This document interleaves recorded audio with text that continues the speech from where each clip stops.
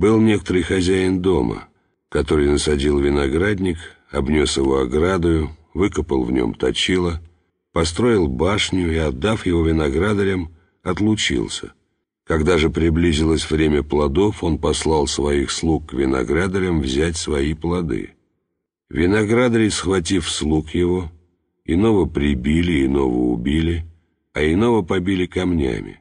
Опять послал он других слуг, больше прежнего, и с ними поступили так же. Наконец послал он к ним своего сына, говоря, «Постыдятся сына моего». Но виноградари, увидев сына, сказали друг другу, «Это наследник, пойдем убьем его и завладеем наследством его». И, схватив его, вывели вон из виноградника и убили. Итак, когда придет хозяин виноградника, что сделает он с этими виноградарями?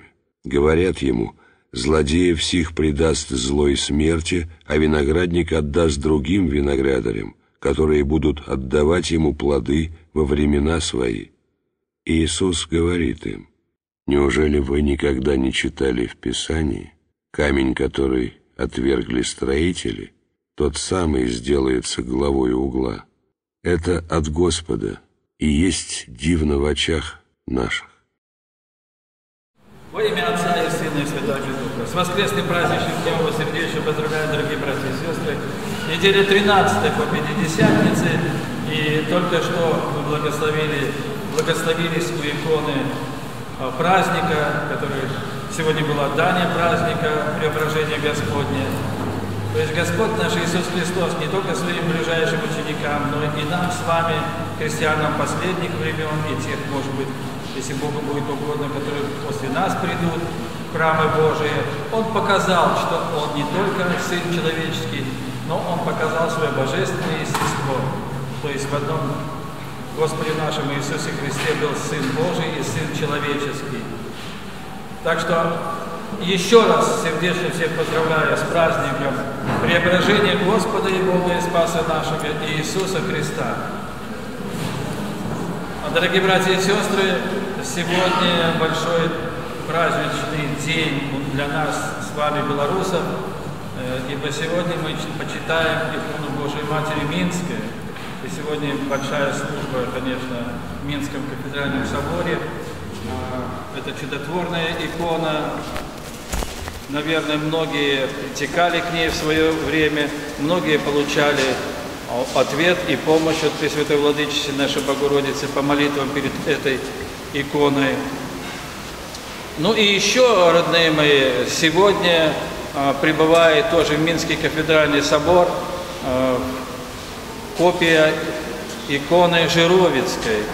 И вот с этого дня мы можем в кафедральном соборе поклониться а, иконе Божией Матери Жировицкой в течение некоторого времени она будет пребывать там в кафедральном соборе.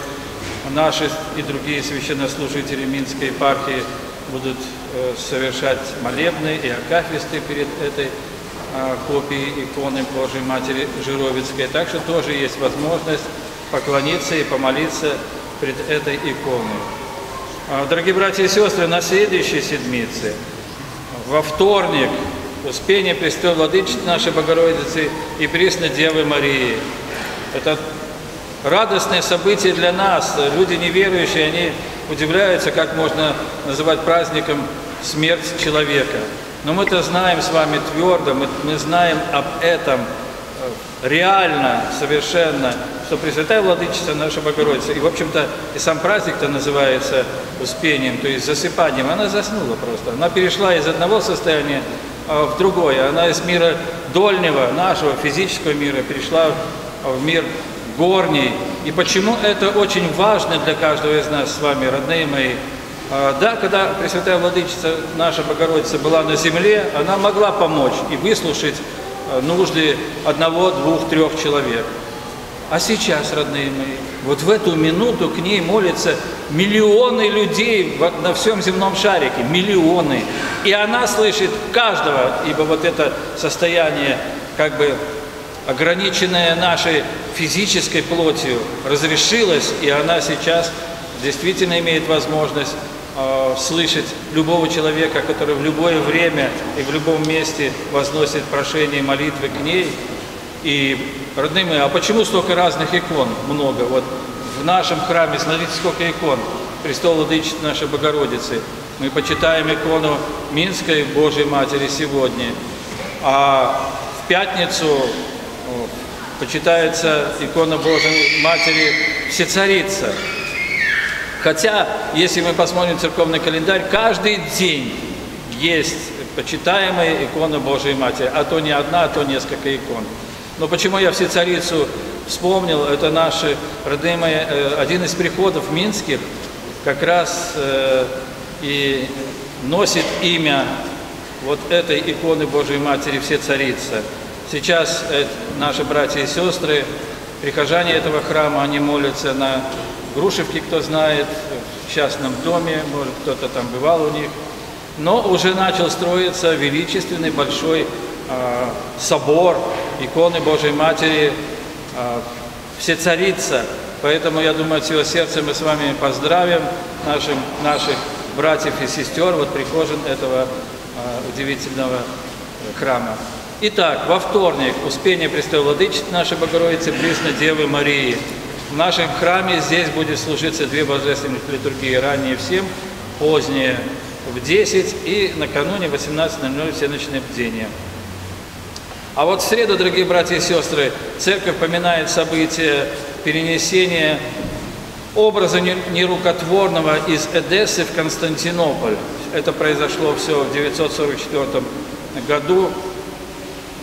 Мы с вами знаем, что ну, из священного а, предания, и даже не священного, наверное, просто из предания мы с вами знаем, что вот эту историю про эдесского князя Авгаря, который болел проказой, который очень страдал, и слух о том, что появился в Иудее удивительный человек, который исцеляет э, неисцелимо больных, в том числе и прокаженных, конечно же, дошел. Э, вот этот город Эдесса, он находится в Сирии. И вот тогда этот э, благочестивый и страдающий князь, этот человек, он послал своего э, слугу, своего раба, значит, пригласить э, Господа Иисуса Христа, Иисуса Христа или Иисуса из Назарета, э, к нему, в Эдессу. Но тоже предвидел, что, может быть, э, Иисус из Назарета, он может отказать прийти, может у него и времени это и так далее. Мы то понимаем с вами, что как раз в последнее время пребывания Господа на земле уже приближались его крестные страдания и Голговский спасительный а, подвиг. А, но он послал раба, который был художником искусным. И вот этот раб, он попросил его, чтобы он изобразил, сделал портрет Иисуса из Назарета. Ну вот этот э, раб пришел, конечно, Господь окружен всегда был людьми, многими, но он там как-то там подсматривал, пытался написать, ничего не получалось. Ничего не получалось. И вот здесь я хотел, хотел бы сказать, дорогие братья и сестры, удивительное в этом событии, что не получалось его э, нарисовать, ничего нету. Вот я вам свидетельствую, что однажды когда-то к нам пришла, в наш приход пришла икона с частицей мощей а, одного из святых. И обычно мы перед тем, как изнести для поклонения верующим на центр храма, а, мы ложим на престол икону, потом все с благоговением выходим и поклоняемся иконе. А я тут решил как бы увековечить в истории этот удивительный момент. И у меня был фотоаппарат, хотя этого нельзя делать. Ну, дело в том, что настоятель э, должен вести книги. До революции так оно и было. Вести книги истории прихода. Все, что не случалось в приходе, все заносилось в книги, это все осталось, если не, не погибло в пламени гражданской войны. Ну, а сейчас времена иные, сейчас компьютер, э, пожалуйста. И вот я стою, и вот здесь вот подхожу к престолу и фотографирую. А фотоаппарат сломался, а не работает. Я опять щелкаю, щелкаю, ничего не работает. Я тогда, наконец, до меня дошло, что происходит. Я тогда пошел в самый край туда, алтаря, и наших алтарников сфотографировал. Прекрасно получились. Наши боевые ребята прекрасно получились. Я думаю, ну ладно, сейчас еще раз попробую. Подошел вот к престолу, ничего не получается. Не угодно было Господу чтобы вот это, это было сделано. То же самое неудивительное то, что произошло с этим художником, посланным из Эдессы, почему он не изобразил Господа Иисуса Христа. Но потом все стало ясно. Господь откликнулся на просьбу князя и омыл лицо водой, взял, ему дали плат, то есть полотенце, он отер лицо свое, и там изобразилась как раз вот эта удивительная икона. Родные мои, почему она удивительная? Да потому что она первая икона, первая икона, которую сам Господь наш Иисус Христос соорудил. Он сам соорудил икону. И мы ее почитаем, потому что и здесь у нас на, на иконостасе, вот он образ нерукотворный, это чудо, которое совершил Господь наш Иисус Христос. И когда мы выходим из нашей церковной территории, там через звонницу, там же тоже образ нерукотворный. То есть мы молимся, получаем благословение от Господа, покидает Дом Божий, церковную территорию, мы выходим в мир и просим благословения Господа о Его помощи в нашей мирской жизни. Ну вот такое событие. Ну а дальше что получилось? Действительно, он получил облегчение от того, что он э, облобызал вот этот образ. Но э, Господь сказал, что придет ученик к нему э, в Одессу, в его княжество это маленькое. Действительно, апостол Фадей, когда пришел и когда крестил князя, то он очистился и абсолютно выздоровел. Удивительно, что это маленькое княжество, оно является первой христианской страной в истории. Все-таки так говорится о том, забывает об этом событии и об, этой малень... об этом маленьком княжестве, которое действительно стало христианским, наверное, первым оно. Ну, а затем это, эта икона, ну, вот этот образ нерукотворного помогал Одессе. Много раз враги подходили, хотели захватить город, но благодаря вот заступничеству Господа через эту икону ничего не получалось. Ну а затем, как вы сами знаете, что сарацины захватили Малую Азию, и потом они уже и Палестину, и Сирию, всю эту, все эти земли захватили. И когда они это захватили, действительно, то тогда император Роман э, византийский, он стал упрашивать султана чтобы он а, отдал ему эту святыню. Самое интересное, что христиане эдесские просили султана не отдавать Константинополь эту икону, но э, покупка была сделана. Большое, большие деньги были даны, и султан отдал вот эту святыню. Вот в 944 году она была принесена в Константинополь и положена в церковь Пресвятой Владычицы нашей Богородицы. Это будет э, событие в среду. Ну а сегодня, дорогие братья и сестры, мы с вами слышали евангельское чтение, притчу о злых виноградарях. Мы знаем эту притчу. Эту притчу Господь, э, в общем-то, обратился с этой притчей к начальникам иудейским, фарисеям, садукеям, законникам, книжникам, священникам и даже первосвященникам. Он для них эту притчу сказал, хотя мы прекрасно понимаем, что Господь, будучи на нашей земле, ни одного праздного слова не сказал. То есть все его слова, они э, не замыкаются ни временем, ни какой-то территорией, а они вечны, и они касаются каждого из нас с вами. И нас с вами, христиан, которые сегодня живут, и те, которые после нас будут, и перед нами жили, это касается притчи, конечно, каждого из нас с вами.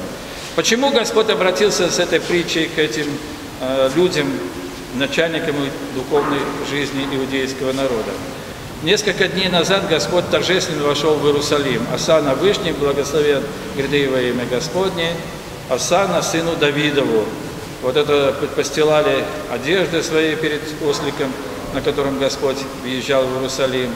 Пальмовые ветви бросали, мы все это знаем. Приближалась Пасха иудейская. Масса народу было из рассеяния, то есть обязательно все иудеи собирались в большие праздничные дни, чтобы поклониться Господу Богу единому а, в Иерусалимском храме. Тоже, почему Моисей установил так, что был один храм? Родные мои, если было место поклонения несколько, то могло случиться то, что и иудеи впали бы в многобожие, потому что все языческие народы, которые их окружали, они были язычниками, многобожниками. Вот почему пока что был один только храм, одно место поклонения. Мы помним, что женщины э, самарянке Господь сказал, что придет время, уже приходит время, когда, когда будут поклоняться в духе и в истине, не в каком-то одном месте, в духе истины, в любом месте, хоть в лесу, хоть дома и так далее. Вот э, тогда собралась эта масса народу, и они спрашивали у местных жителей, а чего вы так вот встречаете этого человека? Кто этот человек?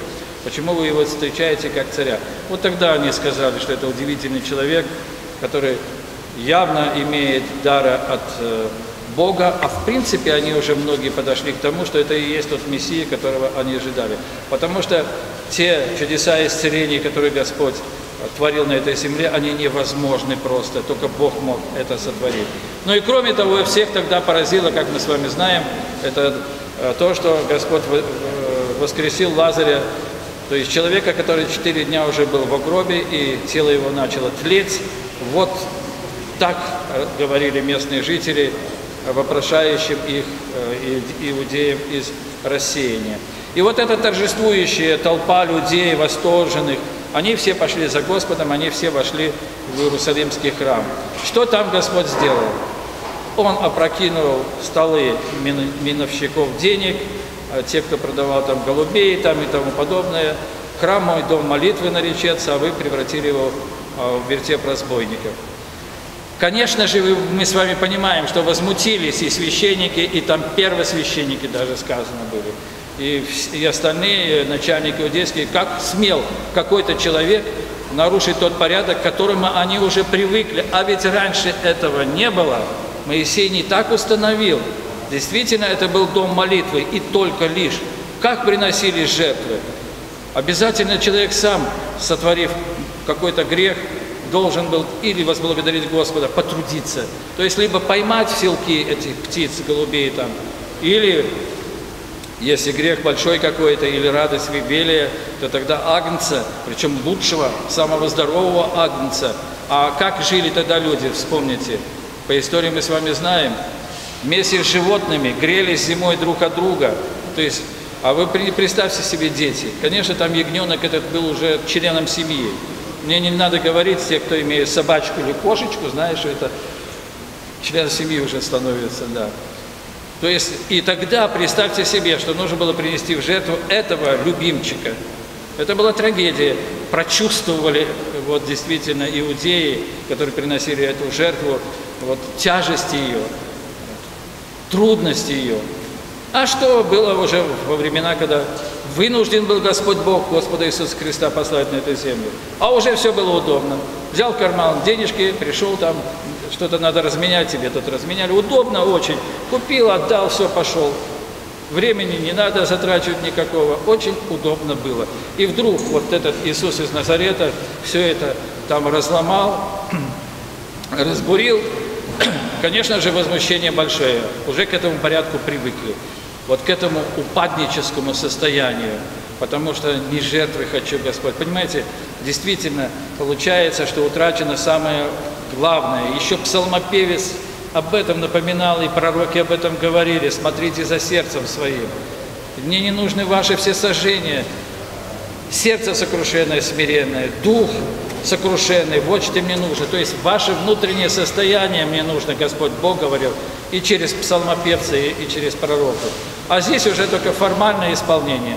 Почему это случилось? Вот на следующей неделе мы с вами будем разбирать еще одну притчу, которую Господь, Он несколько притч, три притчи сказал а, в этот день. А та притча о, о званых на брачный пир. Вспом, помните? И там названа четко совершенно причина, по какой, прич, по какой причине поиски Царства Небесной правды и Его, о чем говорил Господь, которое должно быть на первом месте, оказалось на втором, третьем, а может на пятом месте. Потому что один купил валов, по-современному купил машину, ну, куда там воскресенье, там машинка новая стоит, ай, в церковь идти нет, надо туда быстрее пойти. Конечно, занят. А у другого свадьба, это вообще здорово, да? Или землю купил и так далее. То есть мирские, мирская жизнь, она э, просто-напросто умолила веру в Бога. Точно э, вера в Бога и э, как бы жизнь ради Бога, она, она ушло в ряд вот этих мирских каких-то дел, Причем, я еще раз повторюсь, не только, может, не на второе, третье, а может, на пятое и десятое место. Вот что случилось. Но Господь все-таки, а, когда на второй день Господь опять пришел в Иерусалимский храм, опять много людей было, но уже поменьше было людей. Вот тогда осмелились, помните, а, тогда иудейские начальники, они Господа спросили, а кто тебе власть такую дал, что ты так себя ведешь? Ты вот взял разбурил все в храме. Кто тебя наделил властью такой? Откуда у тебя такая власть, чтобы это творить?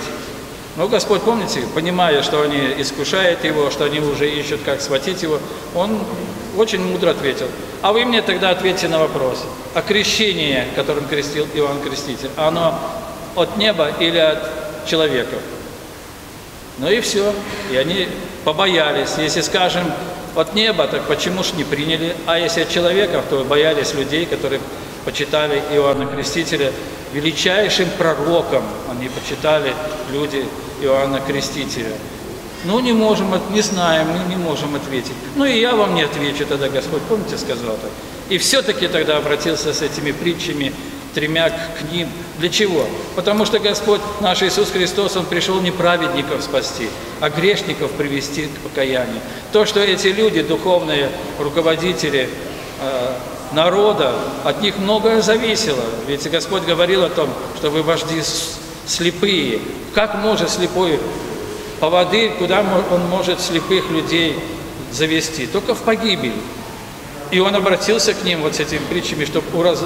чтобы они уразумели их положение, потому что положение их было очень, очень и очень плохое. О чем говорит сегодняшняя притча? Помните, да? То есть хозяйственный человек насадил виноград, оградил забором, точило, то есть место, где выжимает сок, сделал, организовал даже башню, э, забор для того, чтобы животные там не вытоптали не повредили виноградник, а башня сторожевая, чтобы воры не, не проникали и так далее. Все сделал. Он обеспечил их жильем, конечно же, они кушали, питанием были обеспечены. Все было сделано для того, чтобы единственное, что они должны были делать, это в свое время плоды вот этих своих трудов отдавать господину. Вот такая вкратце притча. И мы с вами понимаем, что имел здесь Господь наш Иисус Христос. Он говорил им, что они и есть эти те, кто трудились на винограднике, вот эти э, руководители духовной жизни иудейского народа, это они и есть. И когда Господь, чтобы вот эти плоды, плоды веры, плоды жизни духовной, вот что мы должны приносить Господу Богу, хозяину, который все для нас сделал, и виноградник, и все, все, все, все для нас устроено. Только плоды веры, достойные плоды покаяния должны приносить и так далее, и так далее. Они захотели.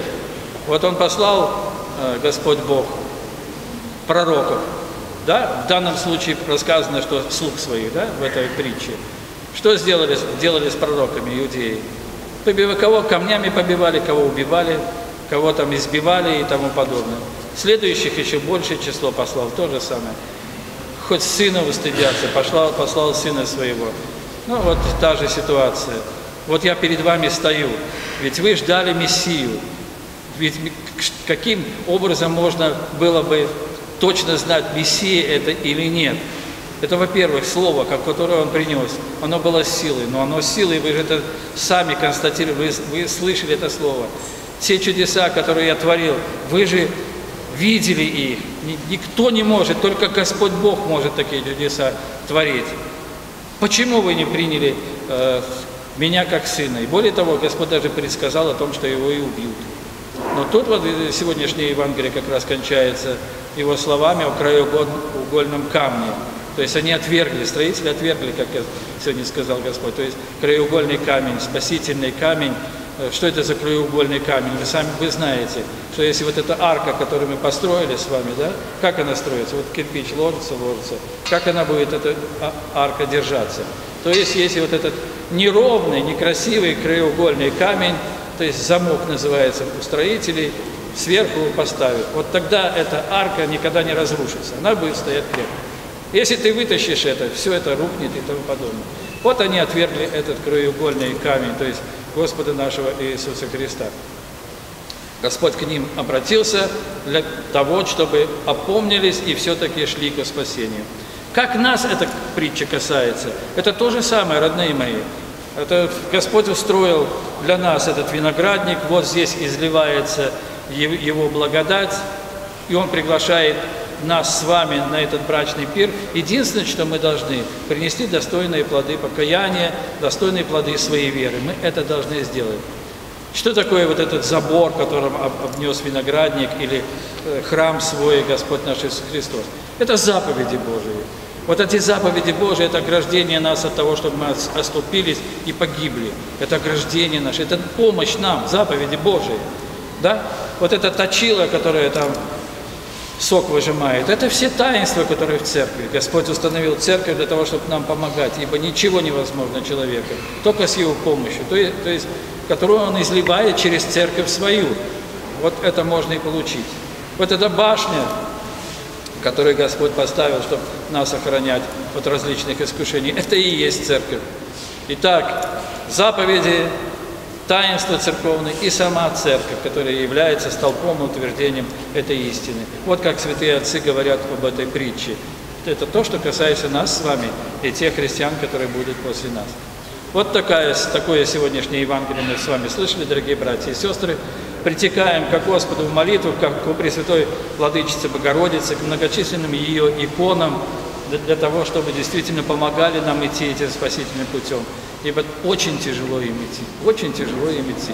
Вот сейчас пускай каждый из нас идет и вспомнит, как здорово мы провели Успенский пост, как хорошо у меня все получилось.